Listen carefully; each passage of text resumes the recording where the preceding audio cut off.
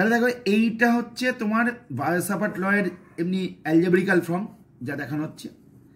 আর এই যে এইটা, এটা হচ্ছে অ্যালজেব্রিক্যাল ফর্ম আর এটা হচ্ছে তোমার ভেক্টর ফর্ম তা তোমাকে পরীক্ষার সময় যদি কোশ্চেন দেয় ভেক্টর ফর্মটা লেখো, তোমাকে কিন্তু এইটাই লিখতে হবে। ডেল্টা বিজগুলো মিজোর I dl cross r divide by r q এবং এই করসপন্ডিং যে ছবিটা, সেটা তোমাকে খাতায় আঁকতে হবে। দেখো, খাতায় তুমি, আমি এঁকে দিয়েছি। দেখো, এইরকমভাবে তুমি পাশে ছবি এঁকে দেবে, তাহলেই যথেষ্ট।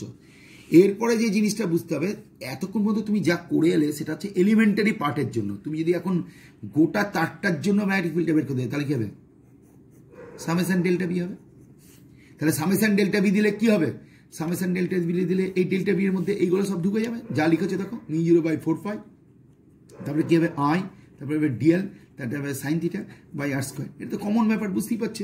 এটা ইন্টিগ্রেশনের মতন ব্যাপার হয়ে যাচ্ছে। ডেল্টা বির ইন্টিগ্রেশন করলে কি হয়? বুঝতেই পারছ? বি হয়।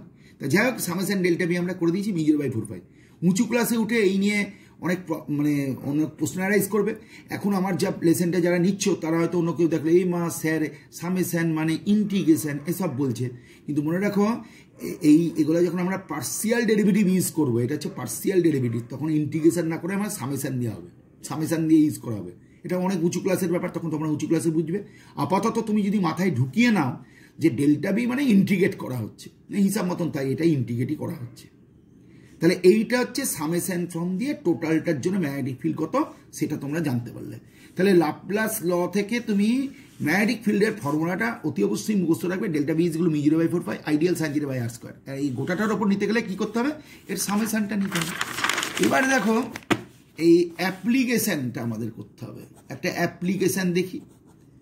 এটা অ্যাপ্লিকেশনটা করতে গেলে কার অ্যাপ্লিকেশন এইমাত্র তুমি যে লটা শিখলে। কি ল শিখলে? ল শিখলে তুমি বায়োসাবার্ট ল তাহলে বায়োসাবার্ট লয়ের অ্যাপ্লিকেশনটা কি হবে? তুমি একটু দেখো, এইটা মনে করো একটা সার্কুলার কয়েল ভালো করে লক্ষ্য করার চেষ্টা করো। সার্কুলার কয়েল আমি আঁকার চেষ্টা করছি। এই সার্কুলার কয়েলের একটা প্রান্ত দিয়ে কি হচ্ছে? কারেন্টটা উঠছে। আর একটা প্রান্ত দিয়ে কি হচ্ছে? কারেন্টটা নামছে। দেখো কারেন্টে যাচ্ছে। বুঝতেই পারছ?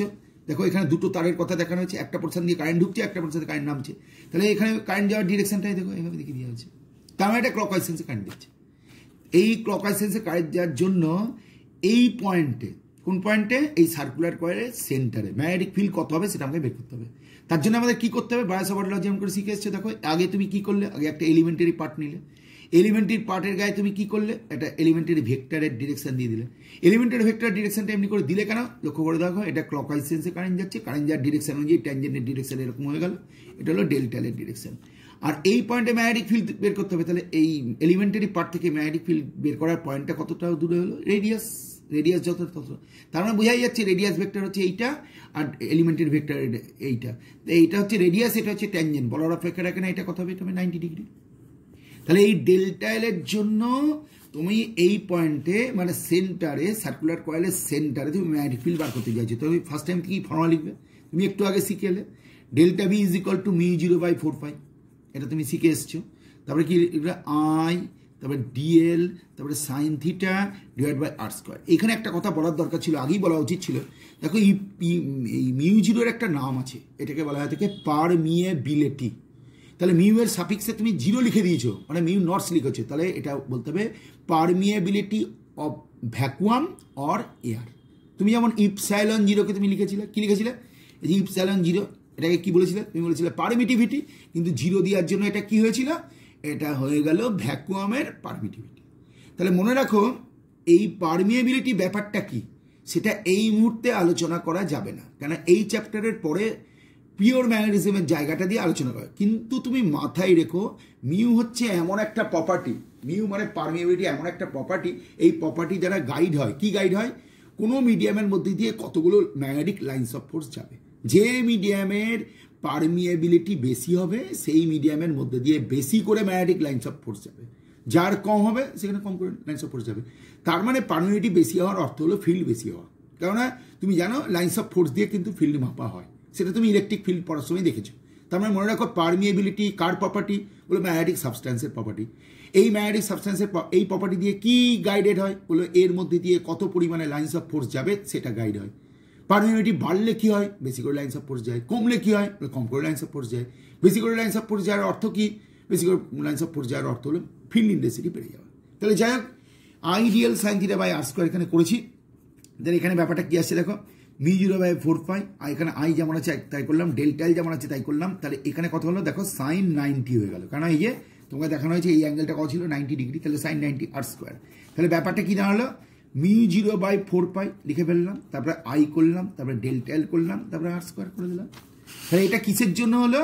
এলিমেন্টারি পার্টের জন্য। এবার তুমি যদি বলো যে, না, গোটা কন্ডাক্টারটা নিয়ে কথা বলব, গোটা কন্ডাক্টার গোটা কন্ডাক্টার মানে এই যে, গোটা কন্ডাক্টার তাহলে গোটা কন্ডাক্টার নিয়ে যদি কথা বলো, তাহলে দেখো এটা আমি হাতে এঁকেছি, তুমি আরও বাড়িতে ভালো করে রাখবে এটা পুরোপুরি সার্কেল হয়ে যাবে।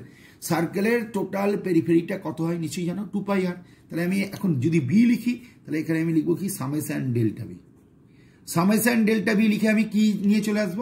তাহলে এই সামেশনের মধ্যে এগুলো ঢুকাবো। Mu zero by four pi ঢুকিয়ে দিলাম। আই বাই আর স্কোয়ার ঢুকিয়ে দিলাম, তারপরে ডেল্টা এল পড়ে থাকবে দেখো সামেশনের মধ্যে থেকে এগুলো সব কনস্ট্যান্ট দেখো ইন্টিগ্রেশন চিহ্ন লিখতে যেমন ইন্টিগ্রেশনের বাইরে চলে আসে, কারা? কনস্ট্যান্ট টার্ম দেখো কনস্ট্যান্ট টার্মগুলো চলে আসছে, কারণ আইটাও এখানে কনস্ট্যান্ট কারণ তুমি এখানে যেটা পড়ছো আই হচ্ছে কিন্তু স্টেডি কারেন্ট সময়ের সঙ্গে সঙ্গে কারেন্টের চেঞ্জ হচ্ছে না। তাহলে যাই হোক, এখানে তুমি লিখে দিলে কত? ডেল্টা এল তাহলে ব্যাপারটা কি দাঁড়াল দেখো mu zero by four pi থাকল আই বাই আর স্কোয়ার থাকল ডেল্টালের পরিবর্তে কত লেখা হলো? টু পাই আর কারণ সামিশন ডেল্টা এল মানে গোটা পেরিফেরিটা নিতে হচ্ছে। তাহলে এখানে ব্যাপারটা কি দাঁড়াচ্ছে? Mu zero by four pi তারপর কি হচ্ছে? দেখো একটা করে আর কাটছে। তাহলে কত হলো?